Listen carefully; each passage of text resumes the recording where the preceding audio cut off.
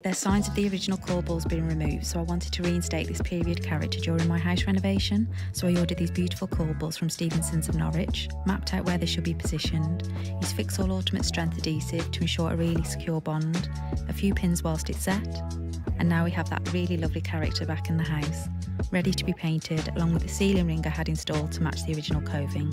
Subscribe to see more.